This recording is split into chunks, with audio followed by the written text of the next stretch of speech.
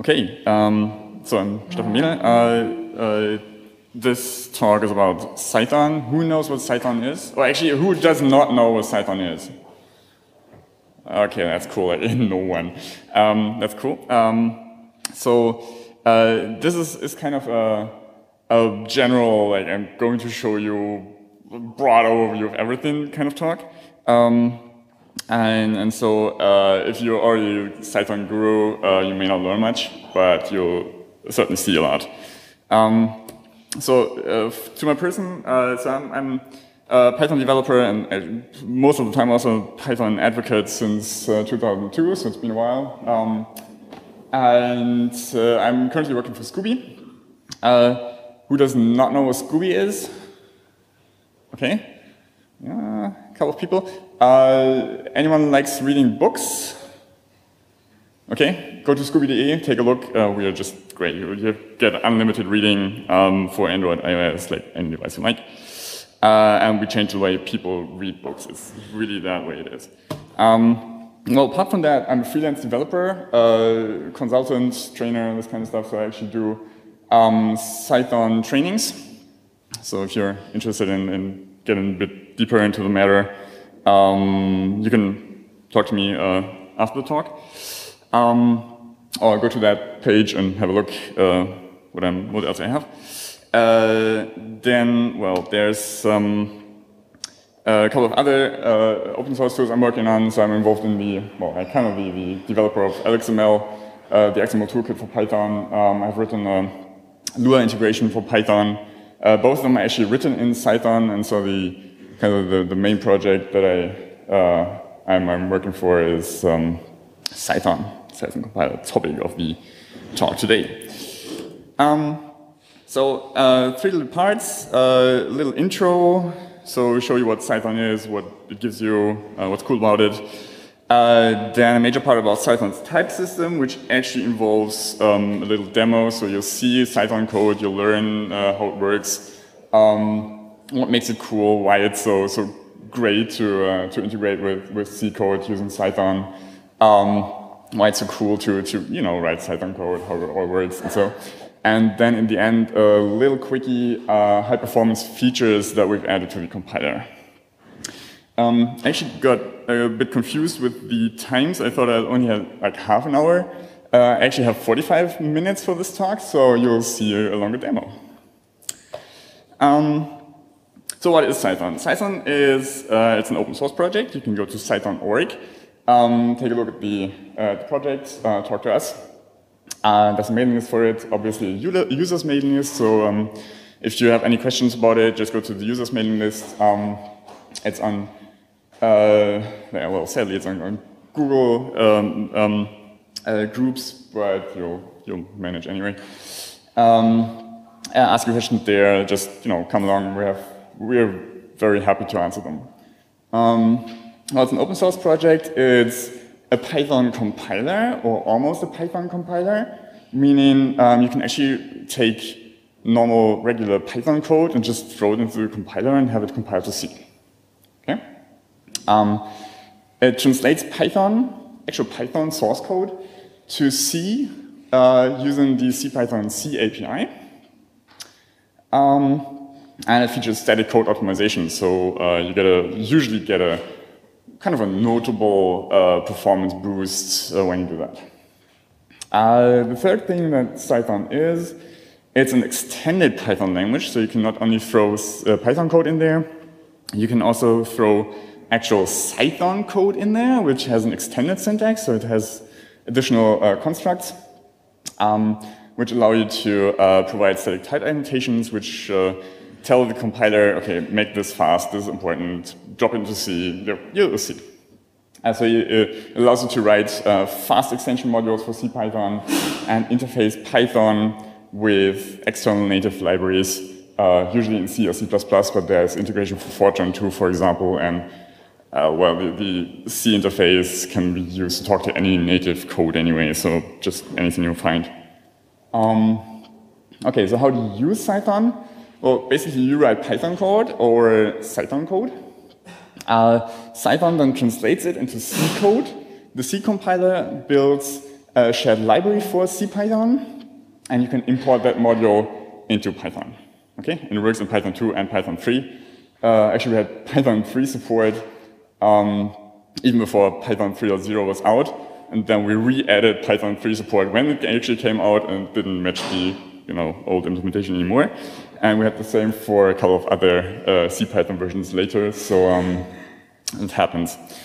Um, and keeps happening actually. But like we're writing the code that you don't have to write. Okay, here's an example. Uh, so from compiling Python code, uh, this is like a stupid little Python script. It has a class doing nothing interesting. It has a function, passes the function into the class, uh, executes it in a loop, you know, like little example. Uh, and then when you compile it, uh, you can just use the Cythonize command for it. So when you install, uh, install Cython, uh, this will come with it, actually only in the next version, so the current version doesn't install yet, I think. Um, but we were working on releasing it. Um, so there's a Cythonize script, you can just say Cythonize minus i, so do an in-place build of this thing. It compiles it, uh, builds the shared library for you, and then you get a C file from it and the shared library, which you can just import and use. Okay? and it translates to 3,000 lines of C code. Okay, so that's a bit more than the Python code you just uh, saw. Uh, why is that? Well, there's lots of portabilities defined in there, uh, which makes it support different C compilers, different Python versions, as I said, version 2, version 3, um, different minor versions of Python, um, lots of differences that, that came in over time. So, we have, so the compiler actually has a lot of knowledge about how CPython evolved over time and adapts your code to it uh, at compile time.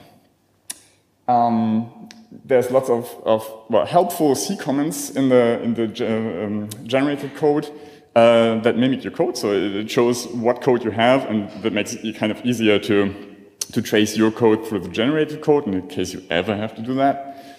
Um, and there's definitely a lot and a lot of code that you definitely, absolutely do not want to write yourself. Okay?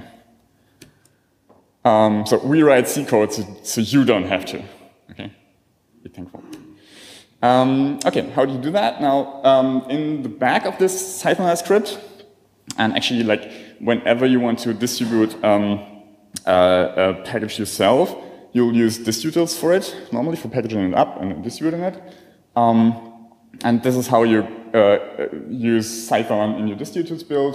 You would just say, I have extension modules, and they come from Cythonizing some source files. Okay? And Cython would just pick up the source files, compile them, build an extension object, so like metadata for it, and push it into the, the distributed setup uh, function to build it all. Um, for the, the, the, more complex cases where you need an explicit um, configuration of your extension um, modules, for example, you're building against specific C libraries, or um, you have some, some kind of dependencies, or need to pass in uh, options or something, you can, uh, well, as before, as, you, as for any uh, C extension module that you would build in, in Python or in distutils, uh, you would normally create this um, extension object for them, which is the, the metadata for the build. Um, here, Cythonize does it for you. If it's more complex, you can do it yourself and just pass it into Cythonize. Okay? Works the same way. Uh, that just makes Cython pick up the metadata and build your code correctly. Okay. So what you get out of it is highly portable code um, so Cython generates C code that compiles basically with all major C, C++ compilers, uh, um, which means GCC normally, um, MSVC on Windows, um, but there are also people using it with the Intel compiler, for example, and it's, it's like production tested, right? Um, works on all major platforms, Linux, Mac, Windows, um, people using it on, on BSD, on, on really big machines on like all sorts of platforms. And it works uh, in Python 2.4 through 3.4 currently, and we're um, keeping track of the development in 3.5, so that'll work um, as soon as it comes out. Um, we dropped support though for really old Python, Python versions. So the next release that we make uh, will not support 2.4, 2.5 anymore, and like the, the old um, 3.1 version that well, no one should be using anymore anyway. Uh, but it, it, still supports any, any recent, um, any somewhat recent uh, Python version, even that version. Um, so um, the Python language syntax itself normally follows Python 2.7, uh, but we support Python 3 syntax if you want to write source code in, in for Python 3. Uh, you just have to tell the compiler, uh, this is code with language level 3, so this is a compiler directive, and it'll just compile your code in Python 3 mode. Uh, regarding language features of Python itself, uh, we compile and run um, more than 98% of the regression test seed um, that comes with CPython, uh, which means that we have like pretty much complete Python language support. Uh, we support classes, functions, closure, closures, generators, like all sorts of features that you'll uh, see in your daily life. Anything that says Python features is supported uh, by the compiler. Uh, uh, like comprehensions, any control structures, all sorts of stuff. There are only a couple of um, minor deviations that you're rather unlikely to meet in practice, which is um, we don't have frames and functions. Does anyone know what frames are? Yeah, that's a couple of people, you see? you don't need that. Um, so we only have them for exceptions and profiling, okay? Um, which is the cases where you may actually need them without knowing. Uh, and there are a couple of minor bugs. Uh, I can't see the URL, but um, just go to our homepage and click on it. Um, okay, so for speed, Cython generates very efficient C code. There are lots of static and optimistic optimizations that applies to your code. Uh, it generates optimized code for the standard Python types, built-in types, um, many built-in functions also, uh, which means that the code will simply run faster because Python understands it. Um, there's static type inference inside of functions, so uh, you don't have to declare many types, you don't have to tell it like, this is a list, this is an integer, this is whatever. Um, it'll, it'll understand your code, uh, well, partly automatically, and you can help it a bit to, to make it understand it better. Um, okay. Uh, so a bit more about speed. There's a Python benchmark suite, uh, which contains real-world pure Python codes, including Django, including a couple of, couple of template engines, actually, uh, a couple of uh, computational modules, like real Python code. And just by compiling it, you get a, a factor of uh, 1.2 to 2.4. It doesn't sound all that much compared to Python 3.4, um, but that's what you get out of the box. And you can make it a lot faster by, you know, adding a little hand tuning. Uh, how's that done? Well, static type declarations. Um, so uh, allows you to put uh, kind of type hints into your code, which tell the compiler that you know this is not just any arbitrary Python object. It's actually enough to represent as cint, and that will uh, make the compiler drop some parts of the code that use this variable into plain C instead of doing object operations on it.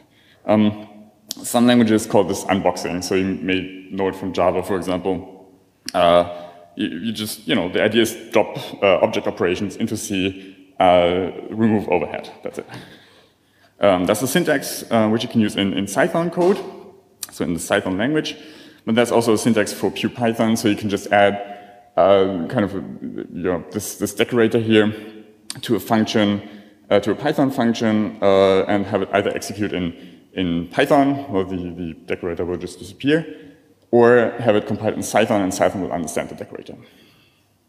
Um, and the cool thing is that you can exploit, employ this exactly where performance matters. So um, uh, it's um, where, so you can, can uh, profile your code, take a look at where the, the real bottlenecks are, uh, drop some, some type annotations in there, and make it way faster just by, by optimizing some, some bits of your code. Okay. And you would normally, uh, so for highly computational code, you would normally expect a couple of hundred times uh, speed up. Okay, so here's the demo. Um, yep.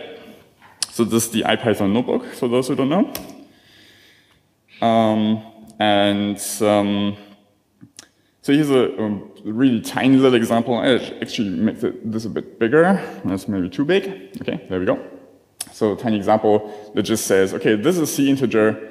Uh, I'm assigning it a value 1, 2, 3, 4, and then printing it. Okay? And you get what you expect.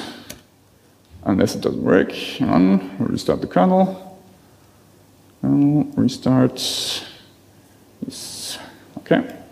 Try again. Okay. Yeah, works now. Okay.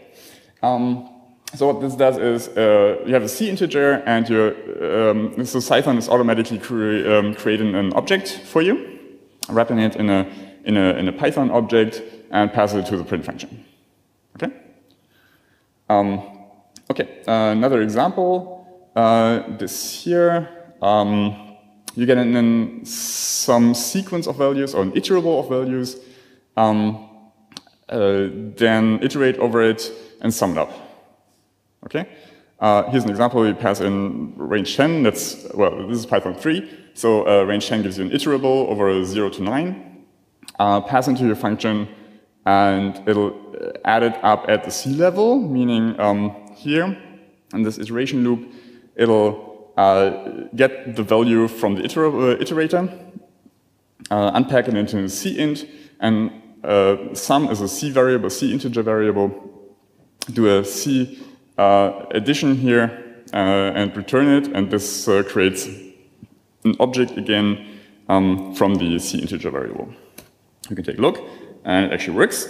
And since I didn't just say uh, Cython here, I said this is Cython minus A code. Um, it drops out a little type analysis for you and shows you, uh, okay, this was your code. Uh, this is how it made of, and, and you can take a look at what it made of it. And this is the C code it generates just for the iteration. And the fun thing about it, uh, it does a couple of optimizations. So if you can read uh, C API code, then this is uh, checking for list, this is checking for tuple, which is kind of the, the most common two cases for iteration. I mean, like iterating over the list, that's what you do all the time, right? Um, so it, it, kind of has optimistic optimizations that say, if it's a list, do it in faster code, okay? And you can see this line here is white. Uh, yellow kind of means this is Python operations taking place, and white means this is like plain C, and anything in between is, well, anything in between. Uh, and you can see this is like a plain C operation, so it just takes sum, adds value, uh, assigns it to sum. Okay? Read the code. Uh, okay. And gets the right result.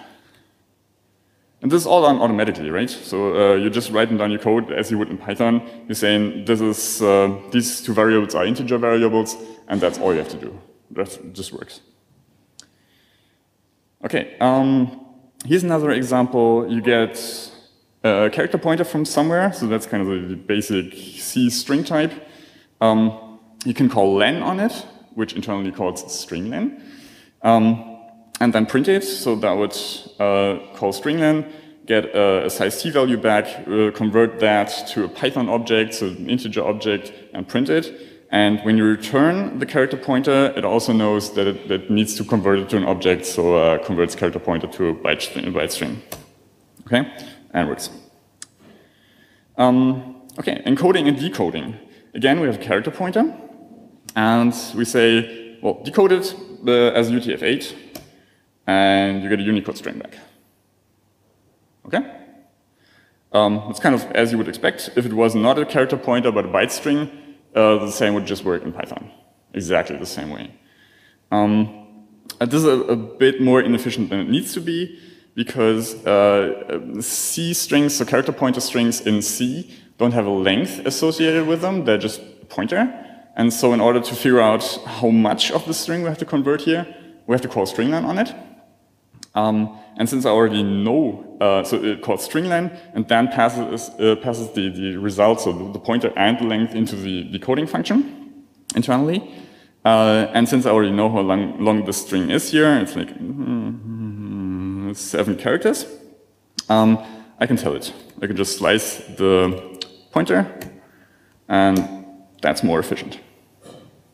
Okay, because there's no runtime uh, string length detection necessary anymore. Okay.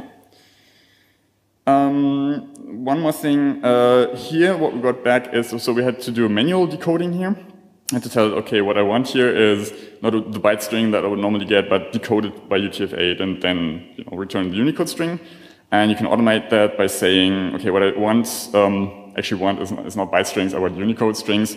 Um, and the encoding for that is UTF-8, so this is, uh, again, a compiler directive that you're passing in. And um, then you just have to say return S, and it'll return the uh, decoded Unicode string for you, all automatic. Okay? So this is kind of the, the comfort you get by the type system. Um, okay, here's another little example. Uh, I'm using the atoi function from the C standard library, uh, and I'm using it to parse a byte string into an integer. Okay, that's what it does. So what I do is I write a, a Python function that gets in some kind of byte string. I call atoi on that byte string, add one, return it. Okay? Works. Um, so I'm passing in a byte string here. I'm calling it with byte string as argument. I'm calling it with a byte array as argument. Both works. Both correspond to uh, C character pointers. Um, atoi gets the character pointer in, returns some C integer value. Uh, Cython generates code that adds one. Uh, then you say return that. Um, it converts the integer value uh, to Python object, returns it. Okay? Okay. Uh, here's a C++ plus, example. Um, I'm using the standard library, the C, C++ standard library, the STL. Um, and I'm using two objects from it, a string and vector. Uh, and what I'm doing it uh, is I'm uh, taking a byte string here, splitting it. This is like plain Python operations, um, which gets me a list, a Python list. Assign it to a vector of strings, so that's uh, C++ code. It gets copied into a C++ vector for me. I can print uh, the vector, which uh, needs to do a translation back into Python, so that converts the C++ vector into a Python list again and prints it. I can just show you what it does. Okay, by running it. So uh, printing here gets me the, uh, the Python list of strings. And as you see, uh, it's been decoded, as I asked it to automatically decode for me. Um, and then I iterate over the vector, and whenever it's found, I find uh, this little string here, this byte string in the vector, I print it out. So um, here you can see it's been found. And uh, the next thing I'm doing is I'm passing in a position into the function, and I'm just indexing the vector, getting the whatever uh, index value I want, returning that and I'm calling it with index 1, index 0, and it tells me that at index 1, it's DEH, and scrolling down, at index 0, it's ABC, as expected. Okay? So back and forth, Python, C++, back into Python, any way you like. Callbacks. Um, who's been using callbacks in Python? Okay, basic idea is um, you pass a function into some code, and you want the code to call your function. Okay, at some point, whenever something happens, or like for any item in a list or something. That's the basic idea. Um, so if you do that in C, uh, it's a bit more verbose because, uh, well, functions in Python have state, they have closures. Um, uh, C does not have closures. All you have in C is pointers. Um, and so the way uh, callbacks work in C is um, you not only pass in your function, so a pointer to your C function, uh, you also pass in a pointer to some state, to some data somewhere, which is then, when the callback is called, passed into the callback so that the callback can uh, make actual use of it, like know what it has to do. Okay? Otherwise, you, you couldn't remember in what state it's, it's supposed to process something because C can, simply can't remember it. So the, the, um, the normal signature of callbacks in C is you pass in some, some void pointer which gives you a context, um, and uh, well, maybe some more data that the callback should be operating on. Okay, so here's a function that uses a callback. Uh, as I said, you pass in your function pointer, and you pass in the context. Okay, so the void pointer that keeps the state for the callback. And then um, what I'm doing here is I'm passing in a character pointer, iterating over it, looking for the end, and whenever I find an, uh, a small or uppercase A, I call my callback. Okay, so I'm running through byte string. Whenever I find an A, I call the callback and tell it, here's a byte, here's uh, what I found. Okay? And then I'm implementing this callback, uh, and I'm saying, okay, the, the context I'm getting in is actually a byte array. So what I'm passing through here is not an arbitrary void pointer, it's a pointer to an object, a Python object. Um, and then whatever character was found, I'm appending to the byte array. Okay, so I'm collecting A's, basically, that's the idea. Okay, and here's the function that calls it all. Uh, so I'm, I'm, creating a byte array, uh, and then call my function that processes uh, some string, tell it, whenever you find A's, call this append character function, and the context I'm passing in is a pointer to my byte array. Okay? Then when I call it all, I pass in a byte string and let, it, uh, let the code operate on the byte string. And here it is, it found all eights. Okay?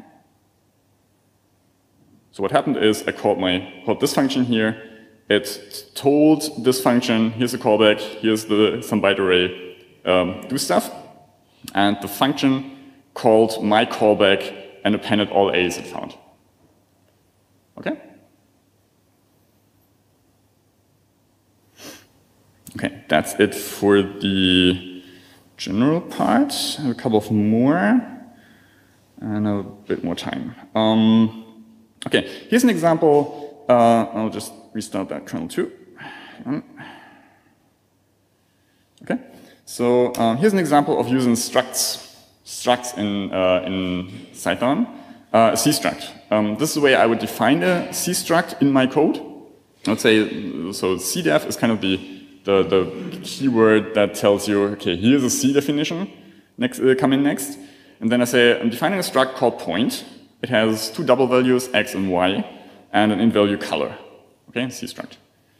Um, then um, I have a function here, a Python function, that uses this, uh, this struct, and I'm creating the struct here first.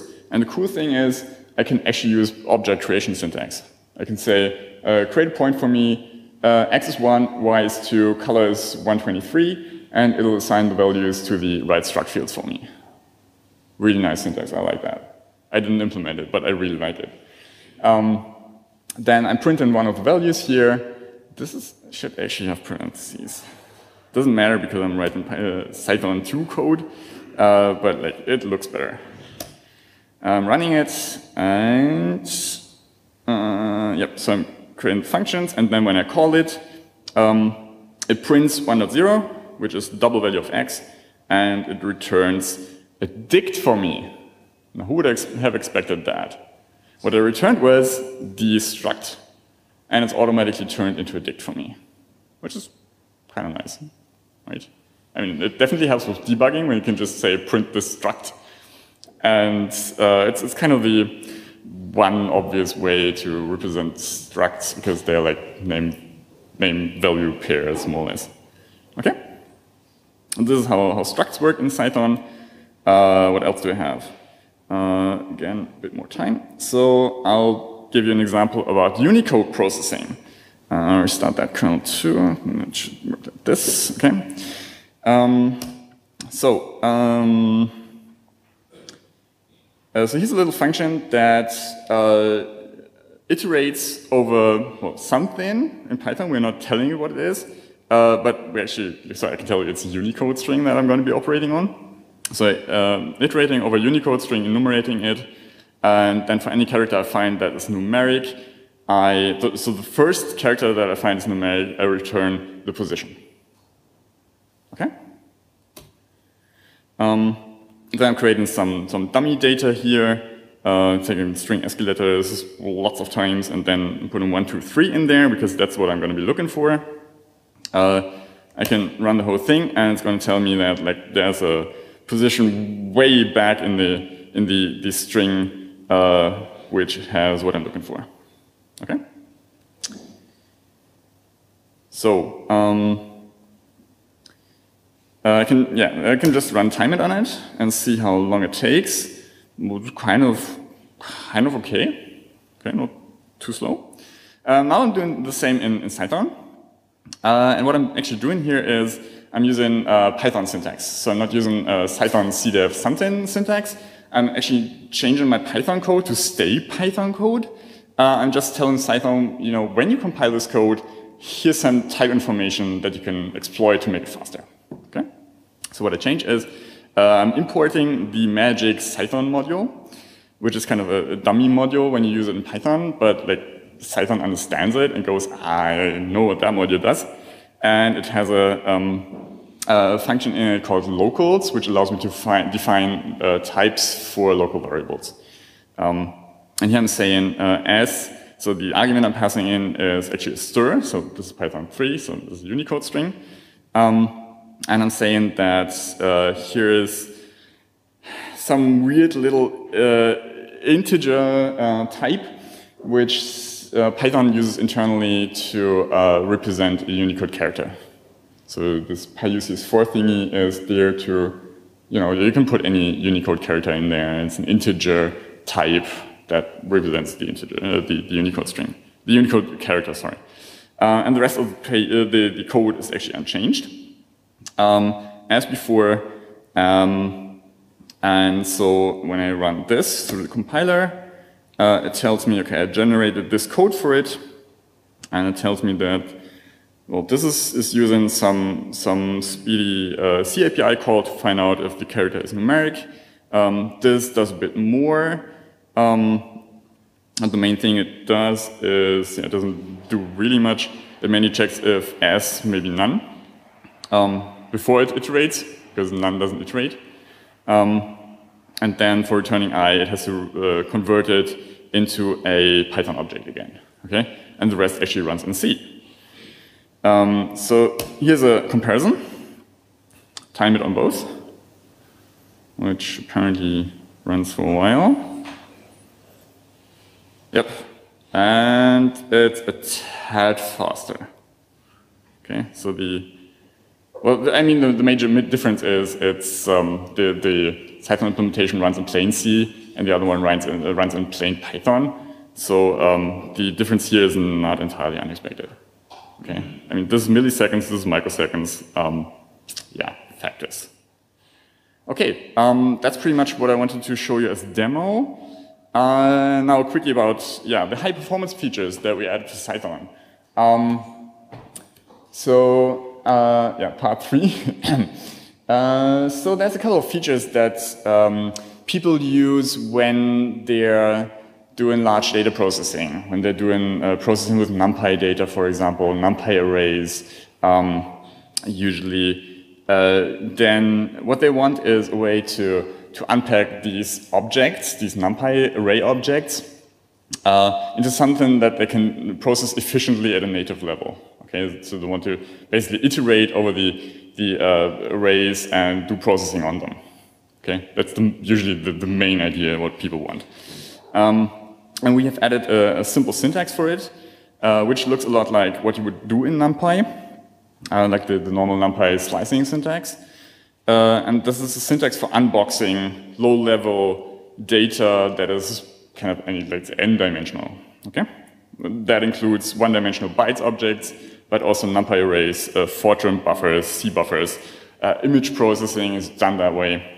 Uh, lots of applications to that, and all you have to do is you have to say, uh, okay, this variable here, this argument I'm getting in, is actually a two-dimensional buffer, so two columns here, two arguments, uh, of type double. And that's it then you can iterate over it. You can just say, okay, this is the size in, in one direction, this is the size in the other direction, have a nested loop over it, and all I'm doing here is adding one to each item in the array. Okay? And this turns into C code. So um, uh, a nice uh, second feature of mem these memory views here is that they support efficient slicing. So without changing this code, you can just say, okay, I don't want to run the code over the whole array. I'm only interested in all even lines, so every second line, and you just slice it, pass it in, done. Exactly as efficient. It just recalculates the buffer layout in memory and runs the same algorithm over it. Okay? Fuse types, next big topic. Um, it allows you to have one implementation with many specializations. Uh, that's also very common in, in, numerics, that you want to write an algorithm once, uh, but have it run efficiently on lots of different uh, integer types, uh, floating point types, like item types and arrays. Okay? Um, and you really just want to implement it once because you, it's hard enough to get it right once, uh, and you don't want to copy code over. Um, so what we've uh, added for that is uh, what we call fuse types. It's kind of compile time generics. Um, and the way it works is you say, I'm defining a type, a fuse type, which I call floating, and it's made up by two different types, two different C types. One is called float, and the other one is double, so it's a 32-bit float and a 64-bit float. And then you use it in your code. And Cython will just understand it and will say, okay, so um, I get in the buffer in here, but it's actually a fused type buffer. And so it will split up your code and generate two versions from it. One that's optimized for 30-bit, 32-bit uh, float and one that's optimized for 64-bit float. Okay? You get that all automatic. We have um, couple of predefined types, which is all floating point types, all integer types, uh, all numeric types, but people use it with, uh, I've seen code that uses huge lists of different types for, um, for, for fuse types here and just you know writes an algorithm and it, it, it expands into like 30 different versions of the code. Um, well, if they need it, uh, it didn't so far. Um, okay, uh, next bit. Um, as I said, this is like a really quickie, uh, run over everything. Uh, OpenMP, so parallel code. Um, that's another thing that people love in numerics. They want to parallelize the code because like, they have huge amounts of data. Um, uh, and they want to use as many cores as they have, right? Or more. Um, they always want to use more cores than they have, but they, they can't. Um, so uh, there's a way to, to have thread parallel loops and also thread parallel sections. Uh, so uh, this is not only usable for numerics, it's usable for like any thread parallelization in your code. Um, and all you really have to do uh, is you replace um, the for i in range in your loop for by uh, for i in prange. So there's a special Cython parallel module that gives you this, and then your code runs in parallel. That's it. Um, what you should not forget is to free the GIL so that you get actual uh, thread parallel code. But again, that's all you need to do. So prange, free the GIL, and then you have uh, C code that runs in parallel on your machine. Okay? So, um, I'm pretty much through. Uh, for conclusion, uh, so Cython is a tool for translating Python code to efficiency, and it allows you to easily interface with native code. I mean, you've seen that. Like, calling atoi is just like, you import it, you're done, right? Um, uh, you use it to, to speed up existing Python modules, so you can concentrate on the optimizations. You don't have to rewrite everything in C or Fortran or whatever. Um, you can just, you know, drop it into Cython, uh, optimize it a little, see that it works fast, and that's what you get without major changes in your code. Um, you can write C extensions for CPython in Python, in actual Python code, so you don't need to swap languages. And you, write, you can write, uh, you can wrap C libraries in Python by just you know calling C functions right out of your code. Um, and uh, implemented a nice wrapper for it in Python code. So you can write a class that you know called C code, and it's the interface that you get. Okay, so you can really concentrate on the on, on writing an efficient mapping for uh, the C code to Python code. So give it a nice API, and you don't have to care about you know, too many details about low-level stuff. Okay, and Python gets you all the way from Cython to C. Um, and what I really like about it is that you can use it as a Pareto language. Uh, does everyone know what the Pareto, uh, Pareto um, principle is, the 80-20 principle? Yeah? So that's exactly the, the, the, type of language it is. Um, it says like, you get 80% of the benefit with 20% of the effort. Um, and Cython really allows you to like find the right 20%, do some stuff there, and you get a huge speed up. Okay? So it's dynamic and simple way, stay dynamic and simple where you can in your code, and just go static and low level where you must. So uh, yeah, so Cython supports fast code writing just as well as writing fast code. Okay? Thanks.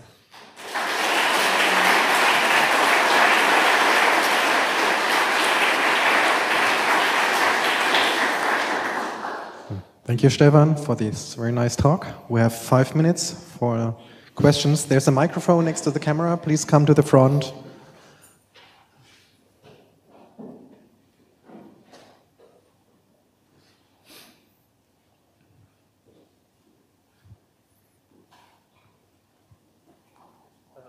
Okay, uh, can you hear me?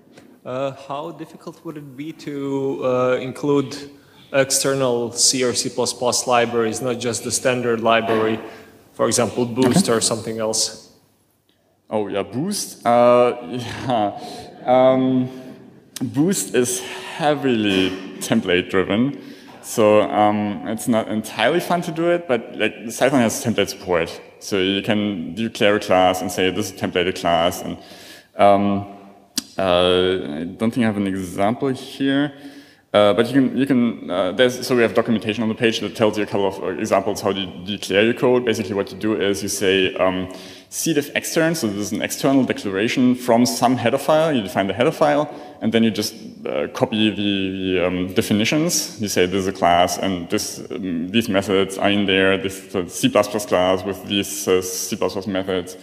Um, like add a, a, marker that's templated, and um, and that's also what, what uh, I did here for the, the atoi example. Um, so uh, the atoi example just works because um, we are shipping the declarations for the standard for the standard C library. We're also shipping the declarations for the uh, C++ uh, STL uh, containers. Um, so you can just use those right away. Uh, if you have your own stuff, um, you can declare them. It's totally not much work. You mostly just copy stuff from your header file, declare it in the way Cython wants it and then you can just say uh, import stuff, use it. Done. Okay, thanks. Uh, regarding generics and uh, fusing the types, mm -hmm. is it possible to use uh, templates for C++?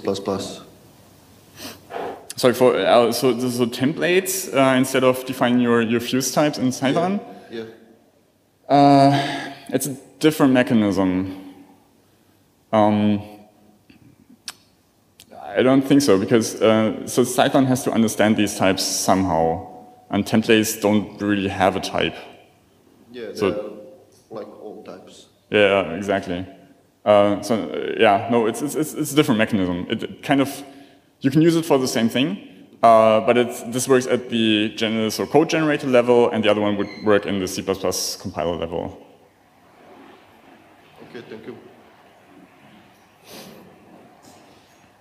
Hi, um, we're using Cython uh, extensively in our machine learning library, and um, but uh, one uh, problem we have is we we lose uh, all the support for the static code checking. For example, uh, using PyLint uh, yeah. on Cython files isn't possible. Yeah. We can use the, the decorators with the locals, for example, Cython.locals, but yeah. for CDEF classes or something else? There's nothing similar or? Uh, that also works, yeah. So um, we have a syntax, uh, you can look it up in the documentation. So there's uh, a lot of the, so actually most of the Cython syntax is available at the Python level, but only the things that are, uh, that can actually be used from Python or sensibly used from Python. So what you can't do is talk to C code because there's no representation for talking to C code from Python in the way Python would allow it to do. So there's no, no real mapping. So you, um, if you use a plain Python uh, syntax for your Python code, um, uh, then you just can't talk to C code. But that's about it. I mean, everything else, all other language features are available in pure Python mode as well. Okay, any more questions? One more. Last one. Uh, hello. Um, first, thank you for, for the talk. Uh, second, um, I, I used Cython in the past and I had a trouble between moving from Linux to Windows because simply the compilers were different. I mean, it was simply because one compiler was ignoring something like chat, uh, Cython generated, which was senseless, but the compiler ignored it. And so I was just wondering if you have some kind of uh, test suite to, to, be sure that code emitted by Cython uh, works on this precise compiler you have on this machine, so we can have something like uh, a limited warranty that it will work. Um, so, uh, as far as I understand, the question was about testing. Like, do we? How yeah, do we assure in that? In, in, fact, the C generated yeah. was uh, uh, not quite incorrect, but in the gray area.